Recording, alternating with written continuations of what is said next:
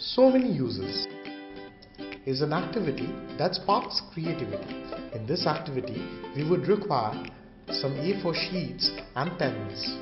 It can be played between a minimum number of players of 2 to a maximum number of players of 5. The activity starts by picking up any object that's lying around you, like a pen. It can be anything that's lying around you. It can be a glass, a phone, a water bottle, a headphone.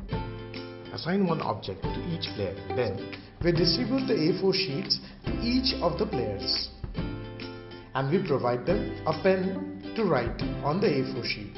Now what are they going to write? The task of the players is to write as many uses of the objects assigned to them within 2 minutes. Let's assume that a player has been assigned the object as a phone. Now we need to imagine the multi-uses of phone. A phone can be used just like a paperweight, a torch and also as a looking glass. The person who writes the maximum uses gets the maximum score.